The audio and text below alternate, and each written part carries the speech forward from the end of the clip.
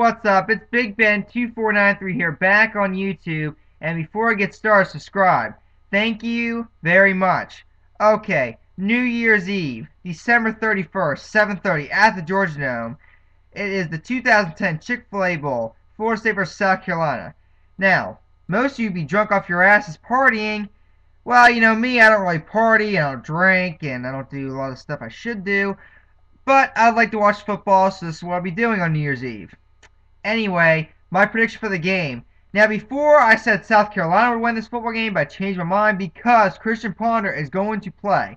He is healthy, he's made all his throws, and he's going to, I think, play well. My prediction, Florida State 28, South Carolina 21. Mainly because the Gamecocks' lousy bowl history is one thing, but the big thing working against them is losing their best offensive lineman for the, this game. The Seminoles will come after South Carolina quarterback Stephen Garcia more than ever now, and with Christian Ponder back in the lineup, the Seminoles should be able to take advantage of South Carolina's secondary that has struggled in pass coverage this season. Now, I understand that Florida State secondary struggled, but I think we will take advantage a little bit more than South Carolina will on our secondary.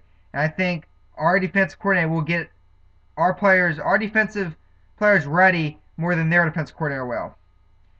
That's all I gotta say. If I if I'm not here to say it now, Happy New Year, everybody. If I'm not back on YouTube to say it. Peace. Go Noles.